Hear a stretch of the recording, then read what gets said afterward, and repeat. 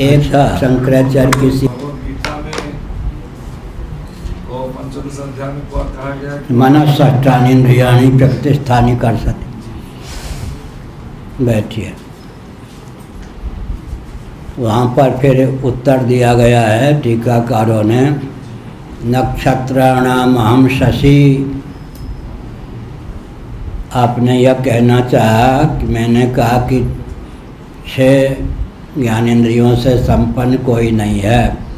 तो आपने कहा गीता के पंद्रहवें अध्याय में मन ष्ठान इंद्रियाणी छठी इंद्री के रूप में मन का वर्णन है। तो छह ज्ञानेंद्रियाँ हो गई। उसका अर्थ है, नक्षत्राणाम हम शशि। गीता में कहा, भगवान ने नक्षत्रों में मैं चंद्रमा हूँ। तो पाँच ज्ञानेंद्रियों का जो नायक है, वो छठा मन है। ज्ञान इंद्रियों के अंतर्गत मन नहीं है। इसका उत्तर यह संख्या की दृष्टि से छठा जिसका स्थान है, पंच ज्ञानेंद्रियों में पंच कर्मेंद्रियों का सन्निवेश हो गया। नैयायिक जो हैं, ये न्यायाचार्य मालूम है? हाँ नैयायिक और वैशेषिक जो हैं, वो छह इंद्रियाँ मानते हैं। पाँच ज्ञानेंद्रिय एक मन। मन को भी वो इंद्रिय मानते हैं।